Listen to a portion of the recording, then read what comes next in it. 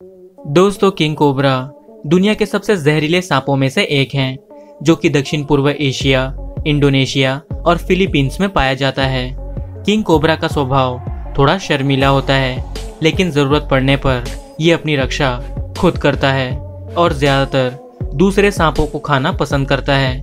अगर बात करें इसकी लंबाई की तो एक सामान्य कोबरा की लंबाई 12 से 15 फीट के बीच होती है और इसका वज़न लगभग 20 किलो के आसपास होता है। इसके दांत आधा इंच लंबे होते हैं, जो कि खतरनाक जहर से भरे होते हैं। ये कोबरा खुले जंगलों, बाँस के खेतों और दलदल जैसे आवासों में रहना पसंद करते हैं।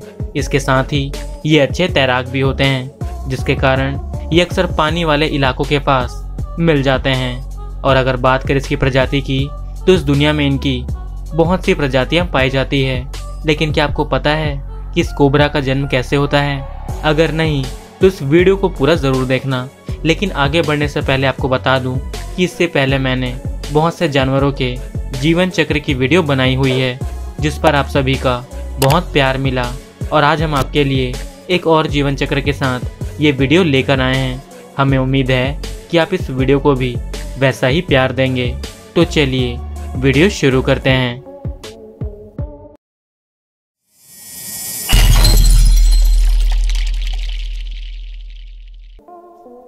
दोस्तों किंग कोबरा, सभी प्रजातियों की तरह अपनी गर्दन के क्षेत्र में अपनी ग्रीवा पसलियों को चपटा कर सकता है, जिससे एक सांप को अपने फन होने का एहसास होता है। लेकिन ये कोबरा ऐसा तब करता है जब उसे किसी खतरे का एहसास होता है।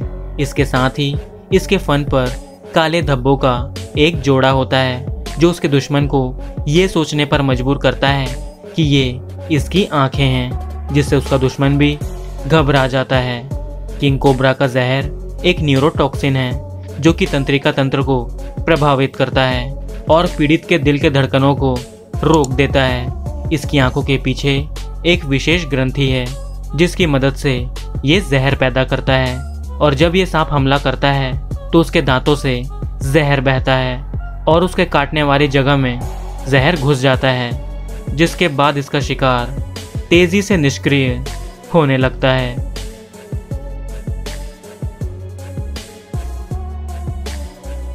दोस्तों, जैसा कि मैंने आपसे कहा था कि इस किंग कोबरा के आहार में दूसरे सांप और छोटे स्तनधारी जीव शामिल होते हैं, जिसे ये चबा नहीं सकते, लेकिन अपने शिकार को पचाने के लिए अपने पेट में मौजूद शक्तिशाली एसिड का इस्तेमाल करते हैं। इस कोबरा के सिर्फ़ दो ही प्राकृतिक शिकारी हैं, नेवला और मनुष्य। क्योंकि कोबरा के दांत छोटे होते हैं, इसलिए कभी कभी जल्दी से मारने के लिए पर्याप्त जहर छोड़ने के प्रयास में अपने शिकार पर कई बार वार करते हैं। दोस्तों, वैसे तो इस किंग कोबरा का जीवन चक्र दूसरे सांपों के समान ही होता है, लेकिन इसमें कुछ विशेषताएँ होती है। तो चलिए, अब हम इनके जीवन चक्र के बारे में बात करते हैं।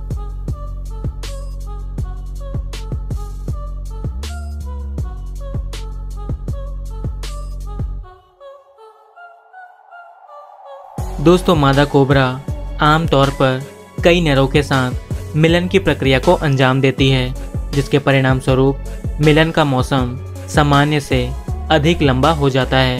इसकी शुरुआत तब होती है जब वयस्क मादा वयस्क नर को आकर्षित करने के लिए अपने फॉर्मोन के निशान छोड़ती है।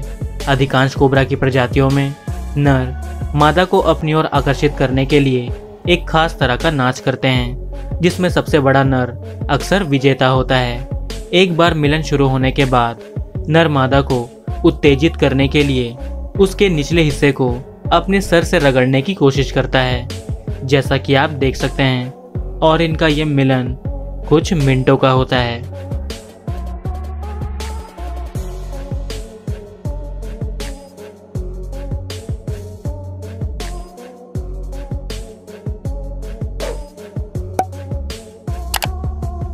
तो जैसे ही इनके मिलन की प्रक्रिया पूरी हो जाती है, उसके नौ सप्ताह बाद ही मादा अंडे देने की अवस्था में आ जाती है और जैसे ही नौ हफ्तों का समय पूरा हो जाता है, उसके बाद ये अंडे देना शुरू करती है। जैसा कि आप देख सकते हैं कि किस तरह ये अपने अंडे दे रही है। ये मादा हर साल 12 से 60 अंडे दे देती है, जो प्रजाति के आधार पर कम या ज़्यादा हो सकता है। दोस्तों, कई बार ये किंग कोबरा अपने अंडों के लिए पत्तियों का एक घोंसला बनाती है, जिसमें अंडे देने के बाद वो इन्हें पत्तियों से ढक देती है और उन अंडों को सेने के लिए उसके ऊपर लेट जाती है।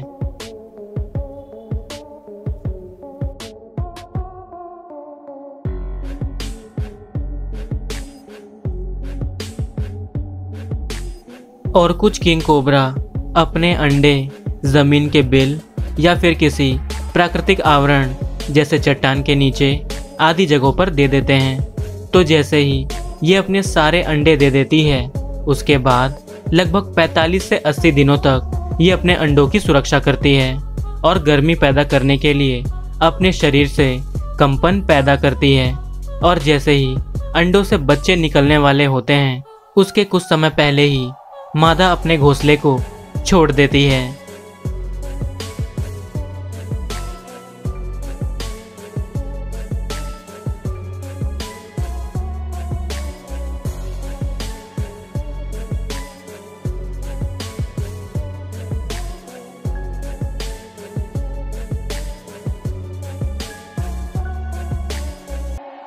तो जैसे ही 80 दिनों का समय पूरा हो जाता है, उसके बाद अंडों से बच्चे निकलने शुरू होते हैं। जैसा कि आप देख सकते हैं कि किस तरह ये बच्चे निकल रहे हैं।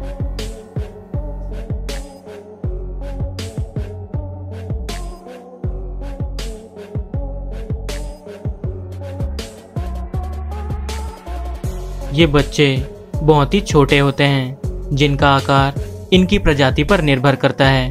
अगर बात करें इनके आकार की तो इनका आकार लगभग 16 से 18 इंच के बीच होता है।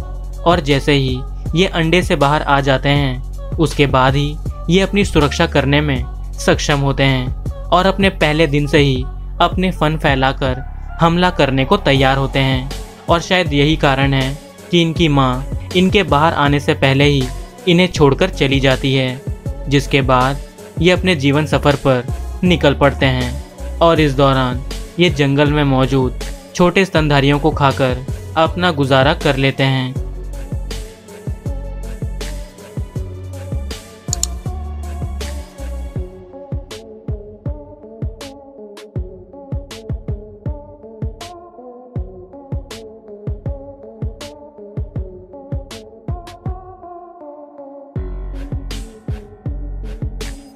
और इस तरह ये चार से छः सालों में पूरी तरह से वयस्क हो जाते हैं, जिसके बाद इनकी लंबाई तीन से सात फीट तक पहुँच जाती है। लेकिन जो बड़े किंग कोबरा होते हैं, उनकी लंबाई अठारह फीट तक भी हो सकती है। और अगर बात करें इनके वज़न की तो इनका वज़न लगभग 20 किलो तक हो सकता है।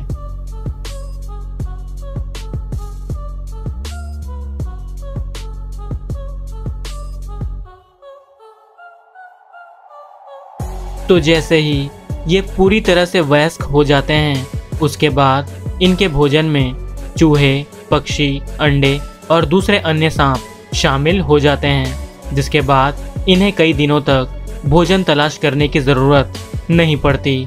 और जैसे ही इनके मिलन का मौसम आता है, उसके बाद ये अपने साथी की तलाश कर मिलन की प्रक्रिया में भाग लेते हैं, जिसके बाद एक बार फिर ये जीवन चक्र शुरू हो जाता है।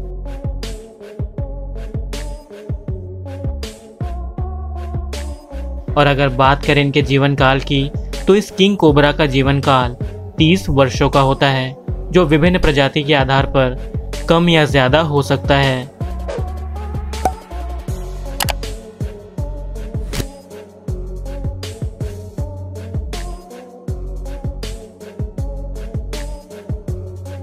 तो दोस्तों, उम्मीद करता हूँ कि आपको ये वीडियो पसंद आई होगी। अगर आपको वीडियो अच्छी लगी तो इस वीडियो को लाइक, शेयर और चैनल को सब्सक्राइब कर दीजिए। और इस तरह की वीडियो देखने के लिए स्क्रीन पर आ रही वीडियोस या फिर डिस्क्रिप्शन में दिए गए लिंक को चेक कीजिए। मिलते हैं अगली वीडियो में। तब तक के लिए बाय।